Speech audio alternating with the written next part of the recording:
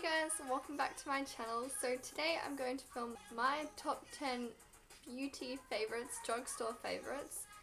Um, I'm going to do a high-end one in the next coming videos, but for today I just wanted to do the drugstore one. It was kind of hard to just pick 10 because I have a lot of great drugstore products. I mean, they're cheap and they're pretty good quality. Yeah, you can't really go wrong, but these are just the ones that I personally like. I'm sure there's heaps of other better ones, but I probably just don't own them. So yeah, let's just get on to the video. My very first favourite is the Australis Bronzing Powder in Sunkissed. I've heard a lot that this is a dupe for the Hoola Bronzer. Um, I've personally used the Hoola Bronzer. I don't think it's quite a dupe. This one has a lot more glitters and stuff in it, but it is still a really, really good bronzer. I use this for every day, and yeah, I just really love it. And it's like $13, I think, compared to the Hoola Bronzer, which is probably around 30 or $40. My next beauty favourites are my Rimmel lipstick and they're all different kind of Rimmel lipsticks but I love all of them. Some of them smell amazing too. I like this purple one smells so good and I just think these are amazing lipsticks and I just love the, the way that they apply and they're long lasting and the colour payoff is amazing so I just really like the Rimmel lipsticks.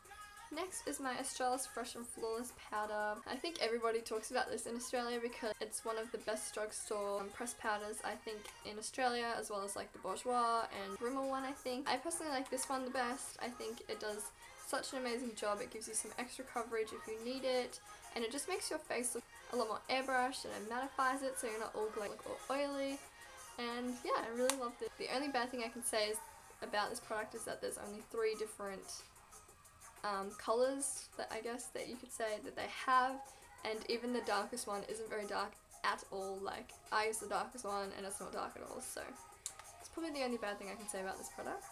The next product is my Revlon Colorstay 24 hour foundation. I love this foundation. I don't wear this one every day because I don't think I need like a full coverage foundation for like uni and work. I don't care that much I guess. I just wear my, uh, my Rimmel one but I love this foundation, it gives you such a great coverage and they have a really good colour end as well.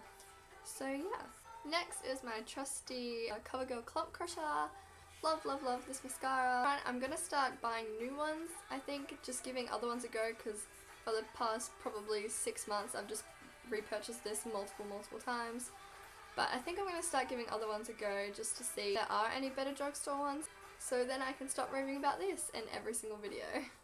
The next favourite is my Rimmel Scandaleyes eyeliners. I have one, two, three, four, five, six of them. I have the silver, black, brown, blue, purple and white one. I wear nearly three of these on a daily basis. I wear the brown one, the white one and the black one pretty much every day. And I love these. They're so, so creamy. Most of them are waterproof that so they stay on like even if you have a shower but some of them just stay on a really long time, even the ones that aren't waterproof. And I just really love these eyeliners, clearly. Next is my Essence Suki Blush. I only have one and it's in the colour Adorable. Just looks like that. I use this on my cheeks every single day. I think it's such a pretty colour. It just adds a hint of glow and like a little bit of pink to your cheeks, which I love. I love pink.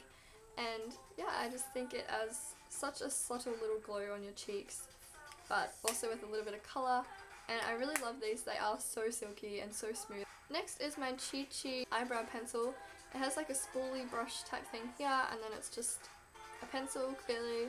I'm not sure what colour this is in because I've had this for the longest time and it's rubbed off but I use this like every single day and because it's like waxy it actually helps it stay on without having to put a gel over the top so I love this one. Next is the highly raved about Maybelline Age Rewind Concealer. I have the brightener as well, but I'm not actually a fan of the brightener. I think it's way too pink. So uh, that's why I stick to my Maybelline Fit Me Concealer. It lasts quite a long time and I really, really like this. I use this for pimples and also under my eyes sometimes if depending on the foundation that I have on.